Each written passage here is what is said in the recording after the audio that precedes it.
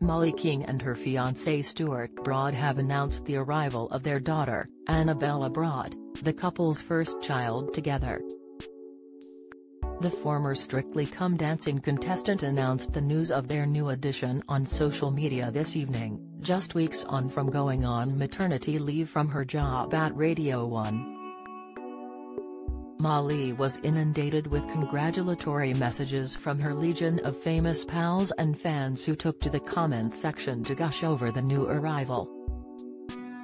The mom of one took the opportunity to share a series of heartwarming photos with her baby, as she sweetly kissed Annabella, who sported an all-in-one. Mollie captioned the post, Welcome to the world Annabella Broad. We have never been so in love.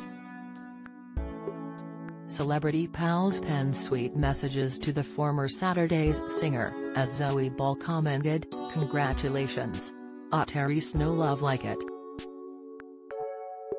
Yeah, love heart eyes emoji. Mollie's Radio 1 colleague Clara Amfo commented underneath the star's announcement. Louise Redknapp shared heart emojis while Gemma Atkinson penned, Ah Mollie.